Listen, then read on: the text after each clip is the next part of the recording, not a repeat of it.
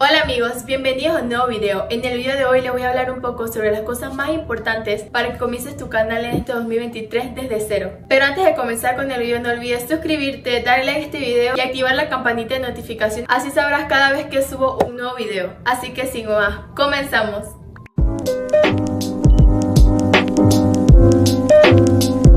Número 1. Antes de empezar, como seres humanos es muy natural tener miedo a intentar cosas nuevas. Puede que nos sintamos muy nerviosos y ansiosos ante la idea de exponernos a muchas personas en internet y por esta razón es por la que procrastinamos en vez de comenzar nuestro canal. Para superar esto debemos poner de lado todas las excusas o razones por las que no hemos comenzado con el canal aún. Antes de subir mi primer video tuve este mismo problema, ya que siempre me encontraba diciendo que quería hacer un canal, quería empezar un canal, pero nunca lo hacía realmente. Porque no tenía una cámara, no tenía un setup, no sabía editar muy bien y un montón de excusas que realmente eran tontas. Hasta que un día pensé que cómo iba a tener todo esto que ni siquiera había empezado realmente. Incluso ahorita me cuesta mucho empezar a grabar un video como decir hoy voy a grabar, realmente siempre lo dejo para después y esto me causa muchos problemas al momento de tener videos listos para el canal. A pesar de que ahora es mucho más fácil para mí en comparación a cuando comencé. La verdad es que no existe un momento adecuado o perfecto para comenzar un canal. No existe un momento en el que tú dices,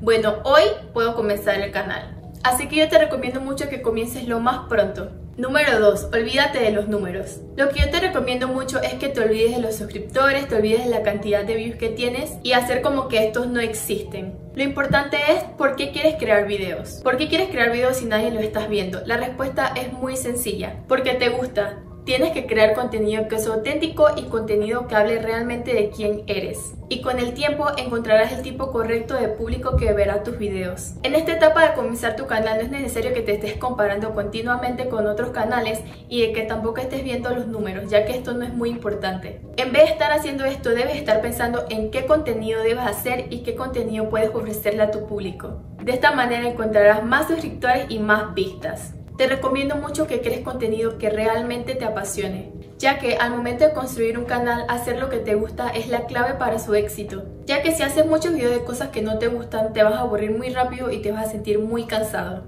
ya que para construir un canal lo que necesitas es tiempo y muchas ganas. Y puede que nunca llegues a la meta si comienzas a hacer videos por las razones incorrectas. Por esta razón es que en lugar de priorizar los números que tiene tu canal, debes priorizar el contenido que estás brindando. Incluso si no te va bien con el video y si el video tiene pocas vistas, no te vas a sentir tan mal porque en realidad estás haciendo algo que sale de ti, algo que te gusta mucho. Número 3. Prepárate para lo peor. Bueno, con este punto no trato de desmotivarte o decirte que tu canal directamente va a ser un fracaso. Lo que trato de decirte es que equivocarse o fallar es algo súper normal que nos pasa a todos, ya que tenemos que aprender de nuestros errores, aceptar críticas y adaptarnos a todas las cosas malas que nos pasen. Porque sin los errores no hay reflexión y sin la reflexión, ¿cómo vamos a encontrar la manera de hacer las cosas mejor?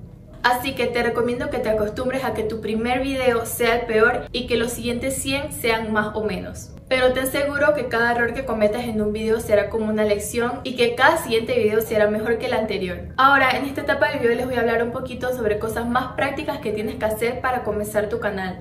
Número 1. Encuentra tu nicho. No tienes que encontrar un nicho con el que te vas a quedar para siempre en tu canal, sino anclarte como a una idea en general. Y si no tienes ninguna idea en general, comienza a hacer videos que realmente te gustan. En otros videos te dicen que tienes que encontrar un nicho para poder comenzar tu canal. Y yo siento que esta es una de las razones por las que muchas personas no se animan nunca a comenzar un canal. Pero bueno, digamos que ya tienes una idea. Lo que yo te recomiendo que en vez de estar pensando mucho en esa sola idea, te comiences a enfocar en tu público y en qué tipo de contenido a ellos les gustaría ver. Qué les gusta, qué tipo de personas son y qué contenido les interesa.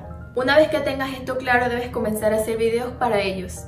Por ejemplo, si quieres comenzar un canal de maquillaje, piensa en qué otro tipo de videos a estas personas les interesaría. Por ejemplo, maquillaje, reviews de productos, técnicas de maquillaje, estilos. Te recomiendo que no te enfoques solo en un tema, ya que debes hacer una lista de más o menos qué tipo de videos le gustaría a tu audiencia. Una vez que hagas esto, más personas como tu audiencia llegarán a tu canal interesados en tu contenido. Número 2. Crea tu marca. Bueno, este paso no tienes que hacerlo específicamente apenas comienzas tu canal, ya que me imagino que quieres comenzar a enfocarte más en tu contenido y esto está súper bien. Pero recuerda que una vez que ya has comenzado con tu canal, tienes que tener en cuenta que con el tiempo vas a tener que establecer una marca si quieres seguir adelante con tu canal. Debes pensar en qué es lo que hace tu canal único. Quizás tienes tu propio estilo, tu propio estilo de edición y tu propio estilo de thumbnails que son algo muy específico de cada canal. Cualquier cosa que te hace diferente debes seguir haciéndolo porque la repetición es lo que crea tu marca ya que la clave es ser un canal predecible, ya que las personas aman cuando saben qué otra cosa harás, es como crear confianza con tu público. Una vez que tu público ya confía en tu contenido, siempre van a volver. Número 3. Graba.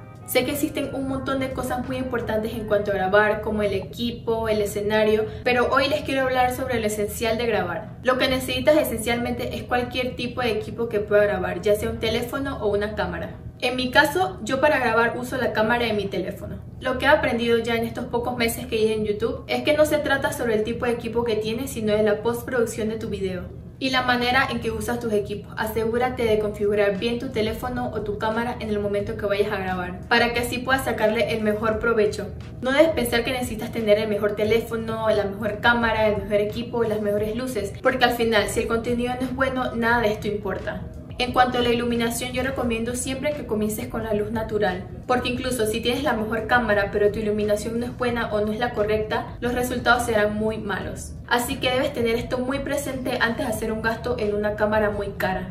Bueno, grabar videos por primera vez es muy frustrante para muchas personas, especialmente si vas a hablar directamente a la cámara ya que hablar directamente a la cámara no es algo natural para nadie. Mis primeros videos hablando a la cámara directamente ahorita mismo los veo y me dan como un montón de pena, siento que están horribles, ya que me veía súper incómoda. Si planeas grabar este tipo de videos que estoy mencionando, te sugiero mucho que practiques una y otra vez las tomas que quieres hacer. Te recomiendo mucho que grabes varios videos de prueba y verlos muchas veces, así ves las fallas y ves qué tal lo hiciste. Pasa mucho que cuando estamos grabando directamente a la cámara nos quedamos en pausa con nuestro diálogo. Por ejemplo, yo siempre digo como... Eh, o uso este montón de muletillas como ok o bueno. O también me pasa mucho que me distraigo de lo que estoy contando. Para evitar esto te recomiendo mucho que prepares un guion escrito a mano de una manera muy sencilla o que hagas una lista de puntos de lo que quieres hablar en tu video, ya que esto ayuda un montón. Incluso si no te gusta hablar mucho en cámara te recomiendo que puedes hacer voice over o si no animar tus videos. Por aquí voy a poner un par de ejemplos de lo que puedes hacer si no te gusta hablar directamente a la cámara.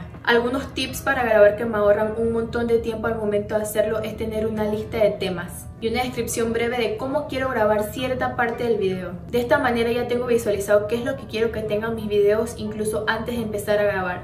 Número 4. Edición. Al menos que sea un video de risa o un video de disculpas, asegúrate de siempre borrar las tomas en las que lloras, gritas o te frustras. Editar es algo que vas a tener que aprender sobre la marcha una vez que comienzas con tu canal. Aprender a editar puede sentirse como algo infinito y muy difícil ya que hay un montón de efectos, transiciones y herramientas que puedes usar. Pero una vez que ya lo dominas y lo haces bien, esto puede ayudarte mucho a cómo contar una historia o a incluso hacer tus videos mucho más entretenidos. El programa de edición correcto hará que todo este proceso sea mucho más fácil.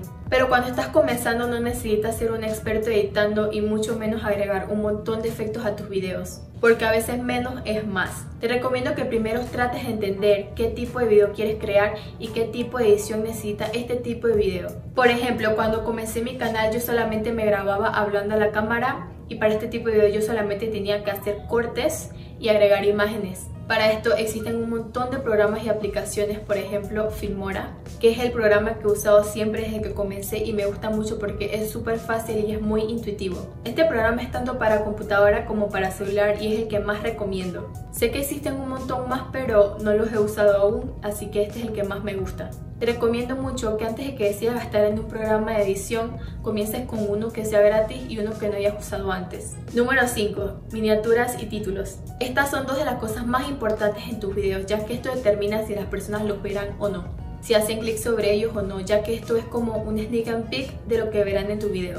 Es tratar de vender el video incluso antes de que las personas lo vean. Si el título o la miniatura de tu video no son lo suficientemente convincentes, no importa si el video es el mejor video que has hecho, las personas no lo van a ver, porque no tienen ni la más mínima idea de lo que se trata ya que la mayoría de la gente decide en segundos si quieren ver el video o no. Y esto lo deciden en base a la primera impresión del video. Lo que recomiendo es que no le pongas el primer título que se te viene a la mente a tu video, sino haz unas listas con posibles nombres y elige el mejor.